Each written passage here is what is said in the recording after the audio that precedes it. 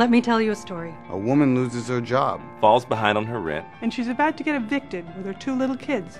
That's why we're uniting together. People like me. You and me. You and me. And you, me. she gets a rent check. So those kids don't have to live in a shelter. Or worse, on the streets. With United Way, that's just the beginning of the story. The mom gets help earning her GED. She gets a better job. Her kids enter kindergarten ready to learn. Mom keeps studying, gets training, and is financially self sufficient. By third grade, both kids are reading at grade level. As years go by, they have after school and summer programs that keep them out of trouble and into learning. Mom goes to nursing school. And 10 years later, after that one rent check that changed their lives, Mom's working as a registered nurse, and her oldest has a scholarship to college. All because we united to help. All because we united to help.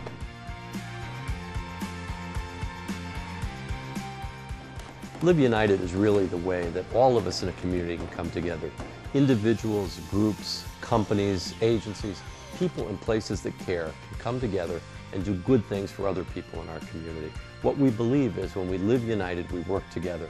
And working together, we can be stronger and better than any of us can be by ourselves.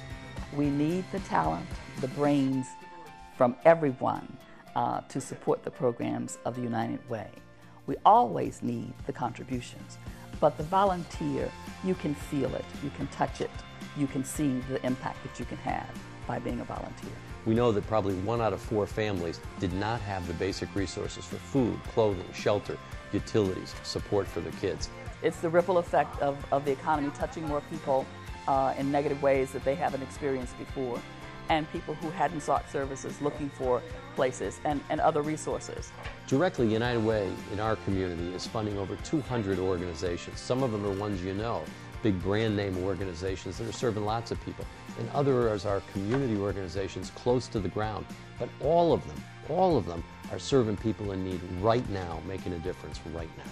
Because if we look at the continuum of, of someone's life, if you touch them when they're three or four years old, help them as they are going through their, their learning years, and they come out of that and go on to college and into the workplace, then you have had impact on that individual.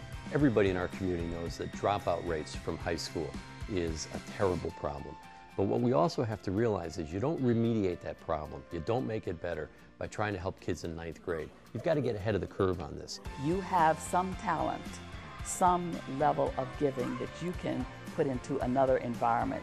And if you touch one child, if you touch one family, if you have an impact on one life, won't you feel better about that?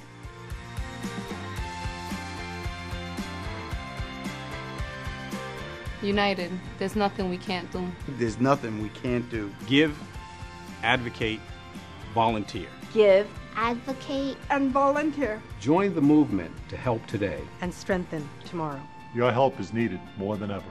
Donate today. Give what you can. Join the movement. Join the movement.